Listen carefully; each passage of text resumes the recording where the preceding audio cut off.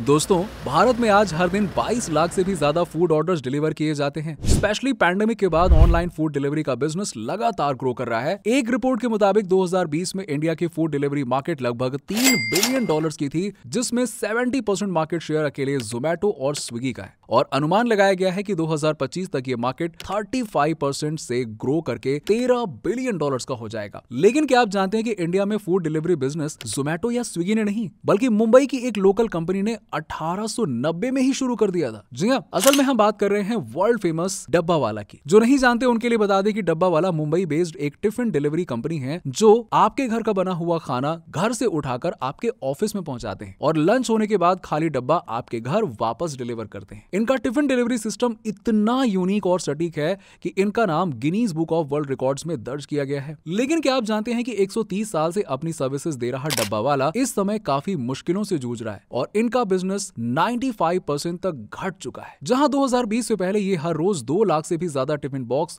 घर से ऑफ़िस तक पहुंचाते थे, वहीं अब ये आंकड़ा पाँच हज़ार से भी कम हो गया है। तो अब सवाल ये उठता है कि इतना बड़ा बिज़नेस आखिरकार एकदम से ठप कैसे पड़ता जा रहा है? तो हमेशा की तरह स्टार्टअप एनालिस्ट पर आपका स्वागत है, जहाँ हम बिज़नेस स्टार्टअप्स और ऑन्टरप्रनोरशिप से जुड़े वीडियोस बनाते हैं। और आज के इस वीडियो में हम जाएँगे डब्बा वाला बिज़नेस मुंबई में कैसे इतना बड़ा बना, इसकी शुरुआत कैसे हुई, और आज स्विगी जोमेटो जैसी कंपनियाँ किस तरह से इस बिज़नेस को जड़ से खत्म कर रही है। तो चलिए, बिना किसी देरी के शुरू करते हैं आज की वीडियो दोस्तों, डब्बा वाला बिज़नेस जो कि पूरी मुंबई में फैला हुआ था वो अचानक से दो सालों में किस तरह से बंद हुआ, इसके पीछे दो मेजर रीजन हैं, जिनके बारे में हम बाद में बात करेंगे। लेकिन इससे पहले आइए जान लेते हैं कि आखिरकार डब्बा वाला बिज़नेस किस तरह से शुरू हुआ था और ये मुंबई में कैसे काम करता है। दोस्तों, मुंबई में टिफ़िन सर्विसेज़ की शुरुआत सन 1890 में हुई, जब एक पारसी बैंकर को अपने ऑफ़िस में घर का बना खाना खाने के लिए चाहिए था। इसके लिए उन्होंने एक डिब्बे वाले को हायर किया, जिसके बाद कई लोगों को ये आइडिया वाकई में बहुत पसंद आया। और देखते ही देखते टिफ़िन डिलीवरी की मांग बढ़ती चली गई। ऐसा कहा जाता है की महादू हावजी बचे नाम के व्यक्ति ने सबसे पहले मुंबई में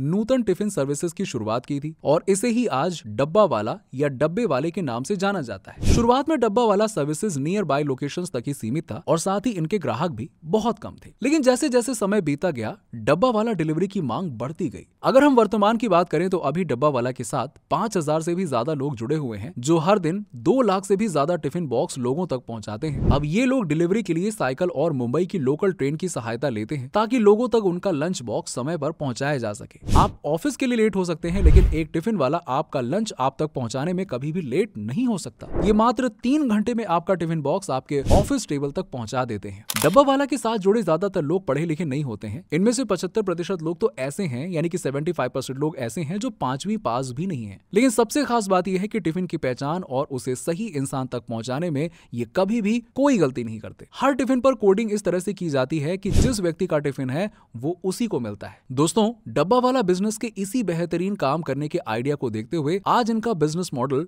भारत के सर्वश्रेष्ठ आईआईटी कॉलेज के साथ साथ विश्व प्रसिद्ध विश्वविद्यालयों में भी बच्चों को पढ़ाया जाता है। अब सवाल ये उठता है कि इतना बड़ा बिज़नेस मॉडल जिसे विदेशों में पढ़ाया जाता है, आखिरकार बंद होने की कगार पर क्यों पहुँच गया? दरअसल दोस्तों, डब्बा वाला बिज़नेस की बर्बादी के पीछे दो मेजर रीजन हैं, जिसमें से पहला है पैंडमिक और दूसरा है जोमेटो एंड स्विगी वो कैसे? आइए जानते हैं। साल 2020 ये तो आपको याद ही होगा ना, जब हमारे देश में कोविड पैंडमिक आया था, जिसने सभी की जिंदगियों में उथल पुथल मचाकर रख दी थी। लोगों को घरों के अंदर बंद होकर रहना पड़ा था। लाखों छोटे बिजनेसेस बंद हो गए थे और न जाने कितने मिलियंस लोग बेरोजगार हो गए थे, जिसका सीधा सीधा असर डब्बा वाला पर भी पड़ा था। दरअसल लॉकडाउन के कारण स्कूल और ऑफ़िस बंद हो गए थे।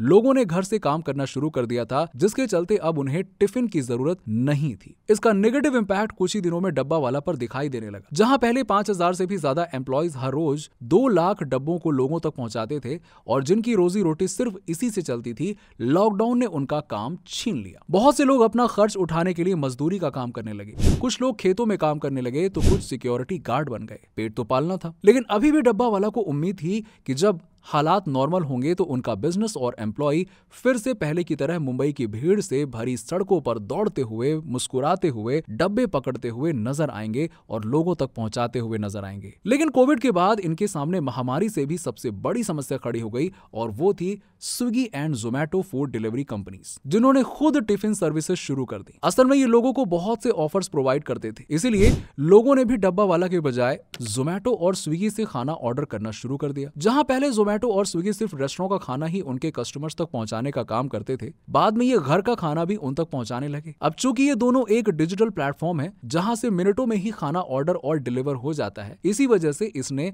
बहुत ही जल्दी डब्बा वाला के कस्टमर्स छीन लिए। इन्हीं सब रीजन से अब डब्बा वाला बिज़नेस बंद होने की कगार पर पहुँच गया है। जहाँ पहले इसमें पाँच हज़ार लोग काम करते थे, वहीं अब एक हज़ार लोग काम कर रहे हैं। और इसके अलावा पहले जहाँ पर पर्सन हर रोज तीस से पैंतीस डिब्बे डिलीवर किए जाते थे, वहीं अब ये संख्या घटकर सिर्फ़ चार से पाँच रह गई है। अब दोस्तों, जहाँ सभी लोगों को लग रहा था कि शायद डब्बा वाला बिज़नेस पूरी तरह से खत्म हो जाएगा, लेकिन वहीं दूसरी तरफ़ डब्बा वाला अभी भी किसी तरह सरवाइव करने में कामयाब रहा है। अब ये घर से ऑफ़िस तक खाना डिलीवर तो करते ही थे, लेकिन अक्टूबर 2020 में इन्होंने रेस्टोरेंट से भी खाना डिलीवर करने का काम शुरू कर दिया। यानी कि जोमेटो ने इनके बिज़नेस में हाथ डाला तो इन्होंने जोमेटो के बिज़नेस पे हाथ डालना शुरू कर दिया, जिसमें इम्प्रेसारियो जैसे बड़े रेस्टोरेंट्स ने डब्बा वाले को खूब सपोर्ट किया और उनके साथ पार्टनरशिप कर ली। इसके साथ ही अपने बिज़नेस को डिजिटल बनाने के लिए डब्बा वाला ने 2020 में ही अपनी वेबसाइट डिजिटल डब्बा वाला डॉट कॉम भी लॉन्च कर दिया, जिसके तहत अब कस्टमर्स वेबसाइट पर जाकर अपना खाना ऑर्डर कर सकते हैं और ऑनलाइन पेमेंट के साथ साथ मंथली और एनुअल सब्सक्रिप्शन भी ले सकते हैं। लेकिन आपको जानकर अफसोस होगा कि इस वेबसाइट से भी डब्बा वाला बिज़नेस को कुछ खास फ़ायदा नहीं मिल रहा है, क्योंकि बहुत से लोग जो पहले डब्बा वाला सर्विस के साथ जुड़े हुए थे, उससे अलग होने के बाद उन्होंने खुद की फ़ूड डिलीवरी सर्विस शुरू कर दी है। अब सवाल ये उठता है कि क्या डब्बा वाला 130 साल पुरानी अपनी लेगेसी वापस पा सकेगा, या फिर ये बिज़नेस इतिहास का सिर्फ़ एक उदाहरण बनकर रह जाएगा, जिसे हम बस यूट्यूब वीडियोस और यहाँ वहाँ लोगों के मुँह से सुनेंगे। दरअसल, ये पूरी तरह से डब्बा वाला कस्टमर्स पर डिपेंड करता है, क्योंकि अभी भी कम्प्लीटली ऑफ़िस नहीं खुले हैं और बहुत से लोग वर्क फ्रॉम होम कर रहे हैं। तो हो सकता है कि जब सारी चीज़ें पहले की तरह नॉर्मल हो जाए और डब्बा वाला कंपनी फिर से प्रॉफिट बनाना शुरू कर दे। डब्बा वाला की सबसे प्यारी बात यह थी कि इनके कस्टमर्स इन पर ट्रस्ट बहुत किया करते थे, क्योंकि कभी भी उनके घर से खाने के अलावा कोई दूसरी चीज़ जैसे कि पैसे या कोई इंपॉर्टेंट डॉक्यूमेंट्स मंगवाने होते थे तो डब्बा वाला उसे बहुत ही ईमानदारी के साथ डिलीवर कर दिया करते थे। इसी ट्रस्ट और ईमानदारी के कारण ही डब्बा वाला बिज़नेस मुंबई में इतना ज़्यादा फ़ेमस और फैला हुआ था। तो हो सकता है कि जब सिटी पहले वाली स्पीड पर आ जाए, अपनी रफ्तार पर चलने लगे तो डब्बा वाली सर्विस भी उसी रफ्तार से चलने लग जाए और अच्छी हो जाए। इसके अलावा डब्बा वाला खुद भी अपनी सर्विसेज़ के साथ लगातार एक्सपेरिमेंट्स कर रहे हैं। हाल ही में इसने courier based company paper and parcel के साथ में भी पार्टनरशिप की है। यहाँ तक कि डब्बा वाला ने खुद की कुरियर सर्विस भी शुरू कर दी है। और अगर ऐसा ही रहा तो आने वाले समय में हो सकता है कि डब्बा वाला एक डिलीवरी लॉजिस्टिक्स की तरह फिर से बिज़नेस में ज़बरदस्त कम करता हुआ दिखे। लेकिन ऐसा सच में होता है या नहीं, ये हमें आने वाले वक्त में पता चलेगा। बाकी एक्सपेरिमेंट्स और ट्राइज और एफर्ट्स तो करने पड़ेंगे ना। बाकी आज की हमारी इस वीडियो में फ़िलहाल इतना ही। आपको वीडियो अच्छी लगी हो तो इसे लाइक, शेयर ज़रूर कीजिएगा और अगर चैनल पर नए हैं तो सब्सक्राइब भी ज़रूर कर लीजिएगा। मिलते हैं जल्दी ऐसे ही एक और इंटरेस्टिंग वीडियो में। तब तक के लिए गुड बाय।